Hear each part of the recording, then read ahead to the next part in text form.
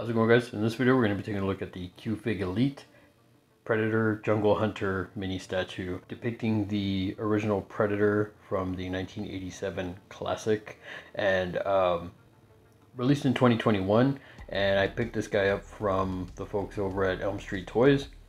Uh, if you haven't checked them out, I'll leave a link to the website in the description below. Uh, so yeah, uh, let's go ahead and uh, this is also my first Q-Fig uh, statue or mini statue.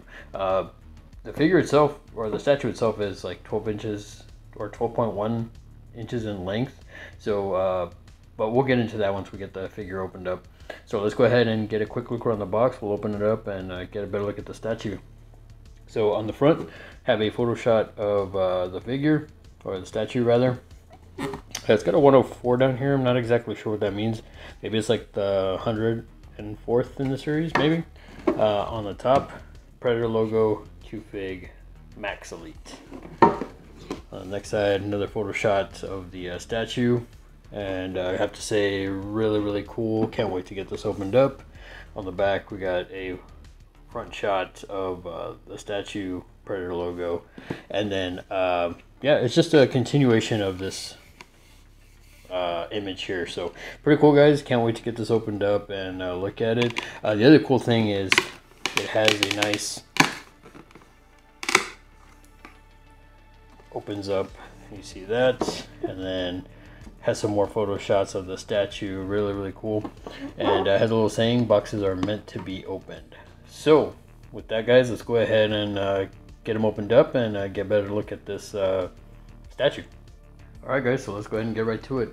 Uh, for starters, I have to say I'm really, really enjoying this uh, mini statue. I'm super glad I picked it up. And uh, I did pick it up at a great price. Uh, Elm Street Toys was having a great, great sale on it.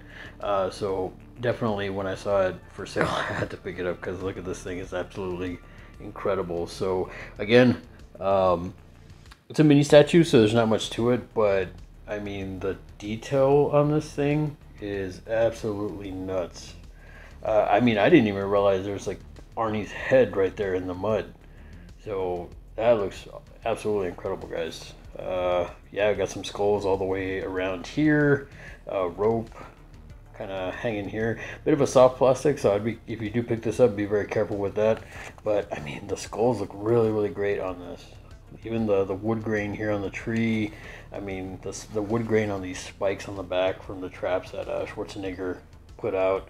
I mean, just overall, man, I, even up here on the top with the Predator just perched, this Predator looks absolutely incredible. Uh, it look, I mean, it's a bit more cartoony, but I mean, dang, they did a great, great job of capturing the, the Yautja's face. Um, the dreads, the color there looks great.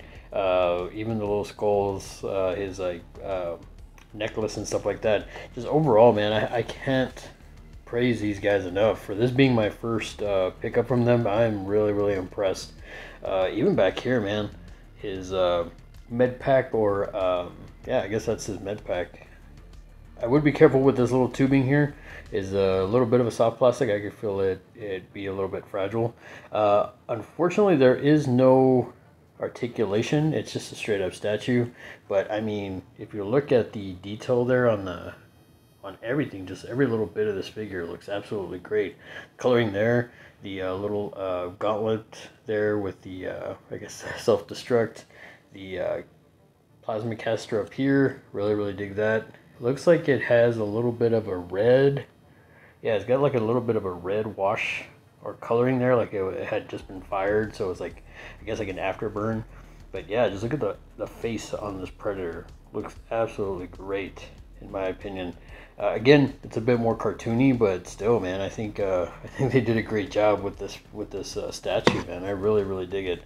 Uh, really digging the um, to see overall the detail. Uh, I've got the gauntlet blades up here. Those look pretty cool. They don't retract or anything. I would be careful with these two. As you can see, they're a bit of a soft plastic. So be very careful with those if you do pick this up. Uh, the mandibles, pretty good. Uh, I would be very careful with this up here too. As you can see, it's a little bit, it's like a little bit wiggly or flimsy.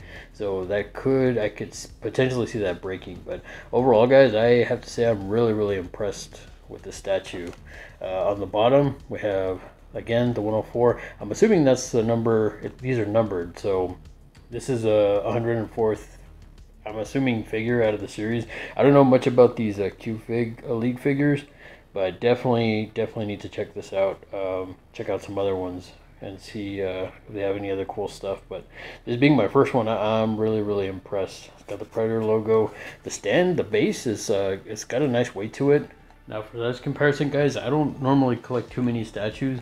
I do have one other one uh, of um, from Diamond Select. It is the Dracula from the Castlevania animated series that's on Netflix. Uh, just to kind of give you a size comparison and give you some, uh, you know, a little bit of a difference between the two manufacturers. Uh, I really, really love this Dracula one. This guy though, I have to say it's really, really cool. I really, really dig it. That about wraps it up for this video. Comment down below. Let me know what you thought of the statue here. told many of you I'm a huge Predator fan, uh, especially the original with Arnold Schwarzenegger, as well as Predator 2. Again, it's one of my favorites, and I love Prey.